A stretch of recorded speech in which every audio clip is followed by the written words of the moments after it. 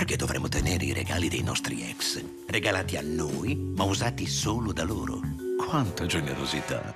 Se le cose non hanno senso, cambia le cose. Su Wallapop vendi di tutto e ci guadagni tanto. Inizia a vendere con Wallapop.